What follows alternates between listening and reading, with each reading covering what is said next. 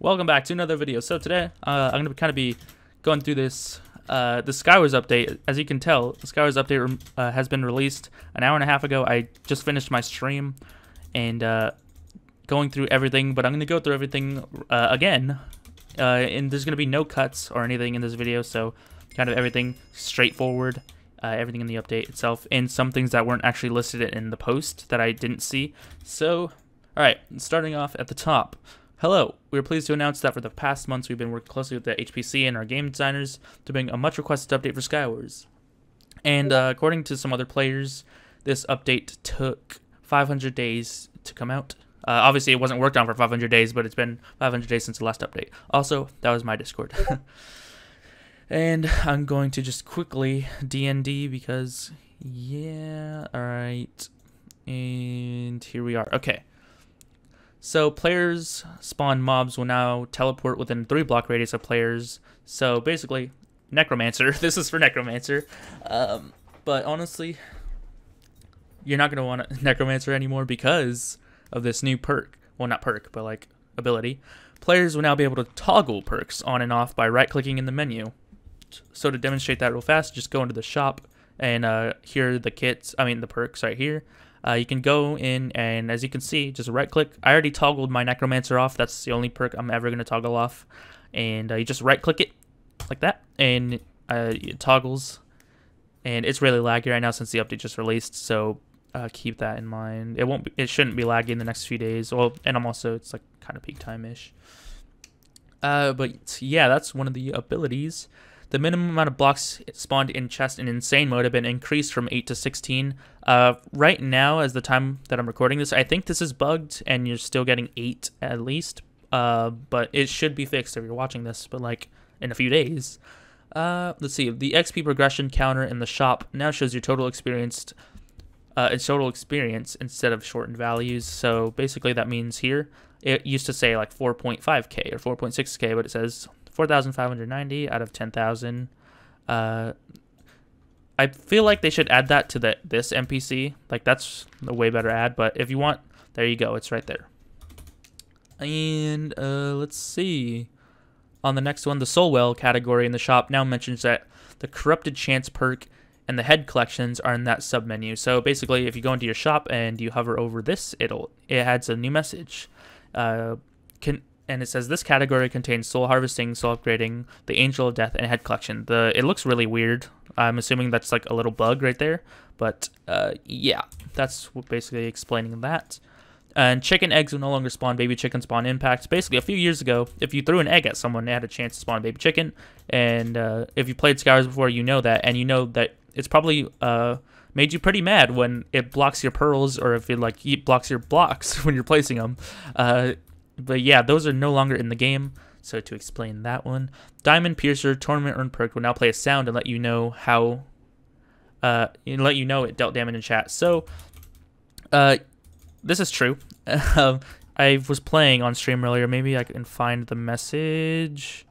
It, yeah, here it is. So it says your Diamond Piercer perk hit player for 20% extra damage. I personally believe this it's way too overpowered right now and that it should either either proc less or do less damage because I'm like four to five hitting like diamond armored people.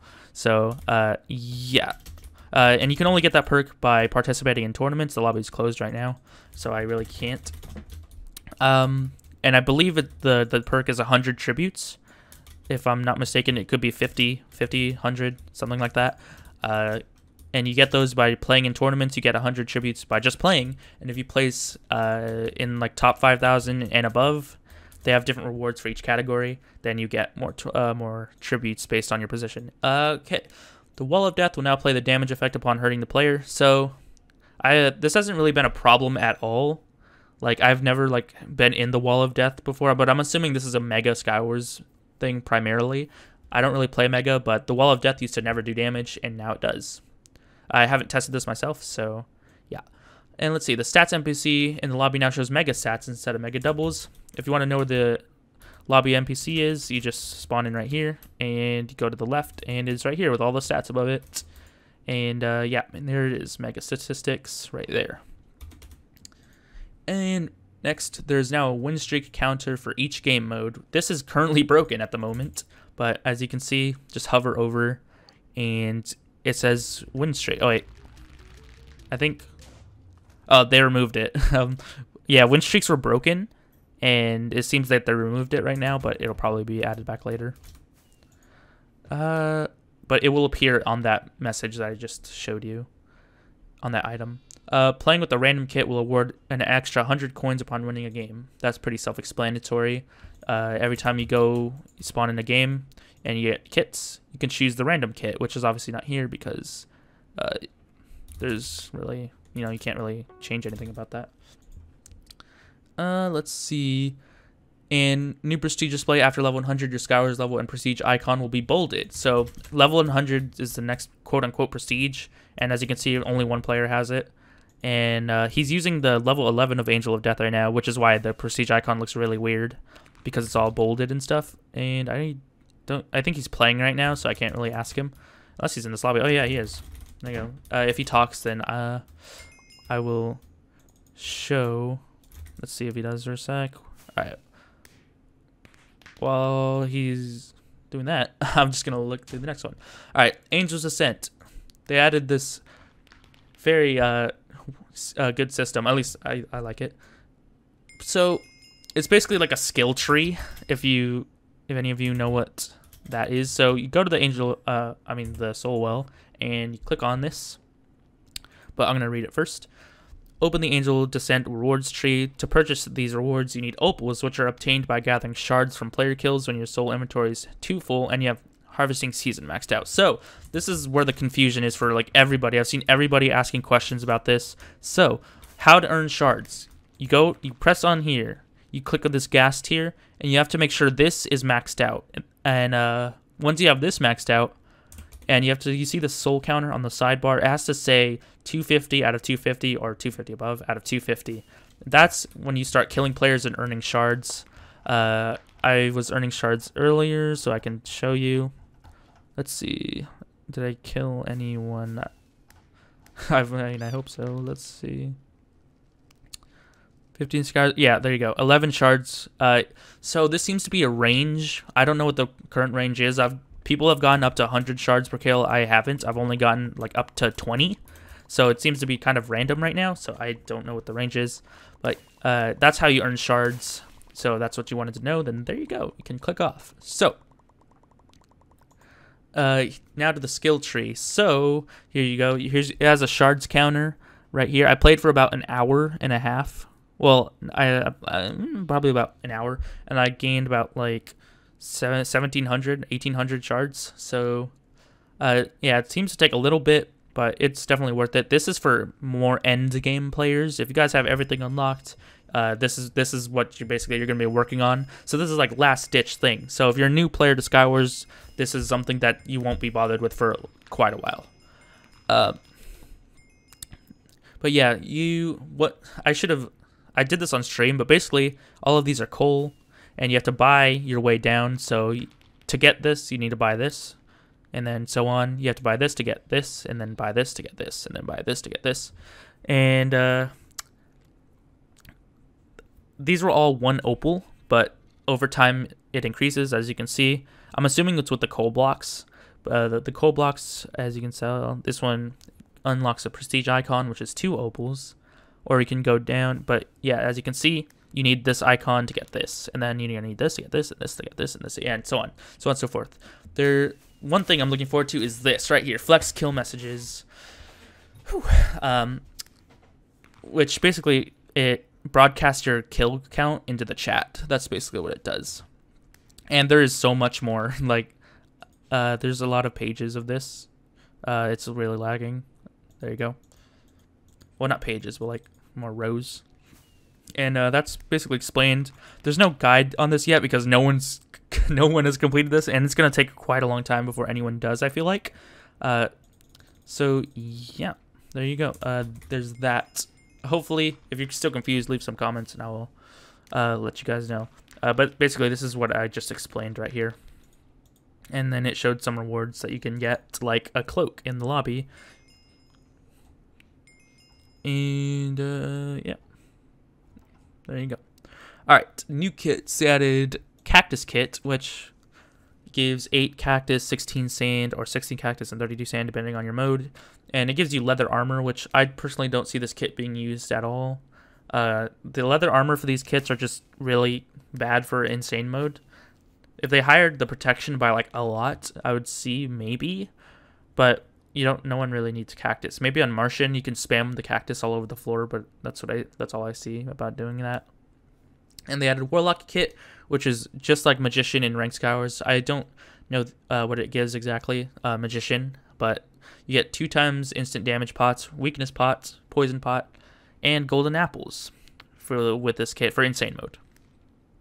And mythic kits. They added Fishmonger. Every hit gives a 7% chance of spawning a silverfish to aid you in battle. So this is kind of it's weirded really uh worded really weirdly, just like that sentence I just said. Um, so this counts if someone hits you, not if you hit another player. So if someone's hitting you, even with like a snowball or something, you have a seven percent chance to spawn a silverfish. And again, kind of get like I was fighting it, and it seems kind of it seems really good, like really annoying to fight against. So um, I don't know if this kit's gonna be used a lot, but uh, it seems really annoying to fight against. And you can see you get leather armor with prot 3 on it and 3 silverfish spawn eggs and Thundermeister, which is my personally my favorite mythic kit so far, uh, like out of all the five kits.